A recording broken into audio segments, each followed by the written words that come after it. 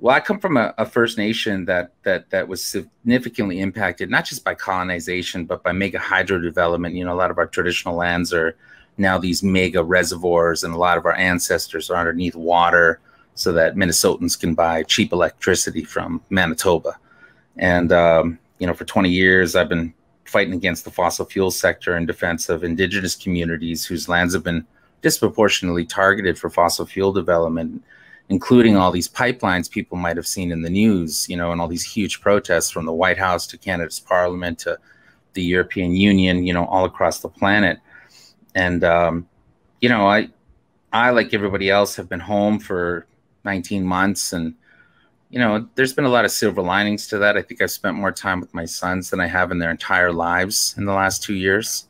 Wow! And, yeah. Uh, well, because I'm on the road like three, four weeks a month, like you know, like scrapping with evil people and the governments that they manipulate.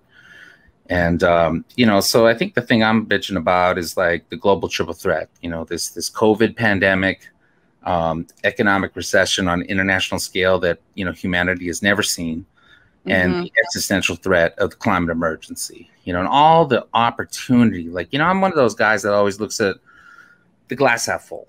And, you know, we have won all the fights, the moral arguments, the scientific arguments, the economic arguments, you know, 12 to 1 jobs from the renewable sector to the fossil fuel sector right now. And these are jobs that allow people not to have to fly to North Dakota or to the tar sands in Alberta or, you know, to some offshore platform in the Arctic or whatever. It's actually be home and build infrastructure and community. Right. Um, you know, and, and, and, and they're well paying jobs, you know, they're highly sophisticated you know, well-paying jobs that allow tradespeople and you know and everybody else involved in this blossoming economy, this blossoming new future. You know, and I think the main thing I'm bitching about is that you know when people look at the global triple threat, they get frozen and they don't realize that the threat to the existential you know threat of climate change is you know localizing power in the interest of globalizing justice Mm-hmm. And our last big fight, you know, we've, we've seen ExxonMobil turn into a junk bond.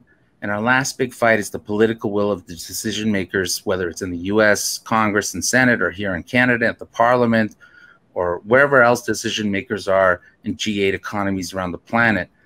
There's so much opportunity to create hundreds of thousands, if not millions and millions of jobs, and to radically transform our relationship to the sacredness of Mother Earth and to each other as communities. But yeah. um, you know, it, it just sometimes I get a little beat up and burnt out, and um, you know that cancer in me kind of makes me want to hide at home and you know just be in my shell. But you know, we all got to hit the streets and get out there on the land and you know do something about this to move these decision makers into action because that's the fun. You know, we're in that final scrap. I mean, these oil companies are still dangerous, but we beat them.